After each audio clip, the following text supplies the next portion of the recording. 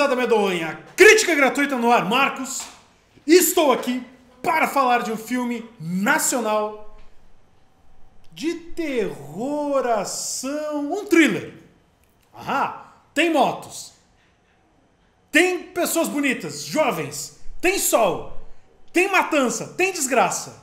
Mas o resultado final.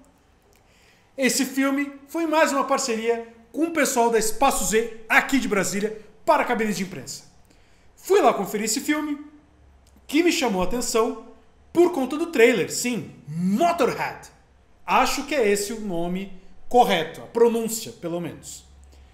Acompanhamos aqui uma galerinha jovem, motociclistas e tal, que querem fazer uma trilha para pegar uma cachoeira. No caminho para a cachoeira, encontram uma menina que também está de moto, que está com a moto quebrada e sugere para eles: conheçam um lugar melhor.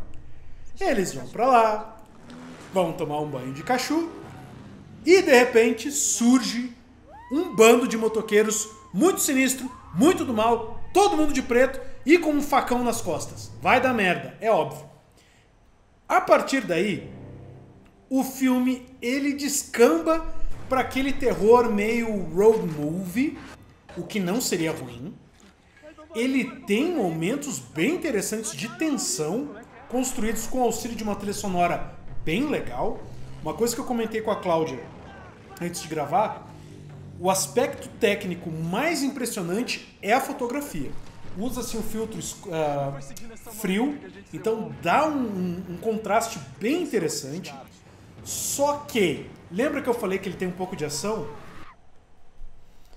Digamos que o cara que faz o corte é um pouco frenético.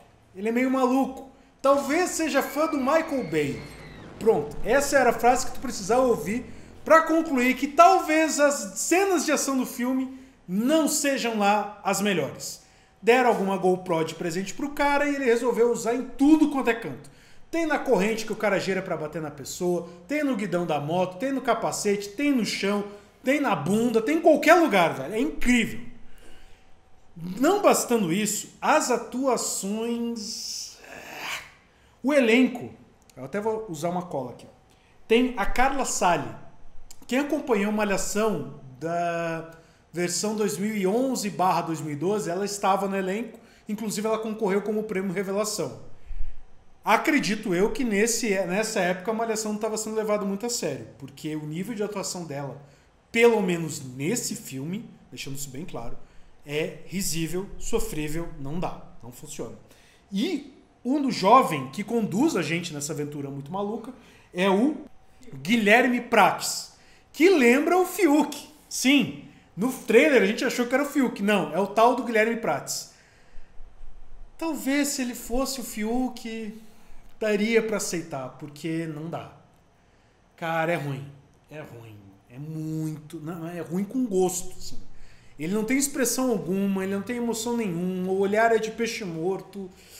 Cara, não, não funciona. Não funciona. Em um filme de terror em que a melhor parte da atuação é quando alguém grita,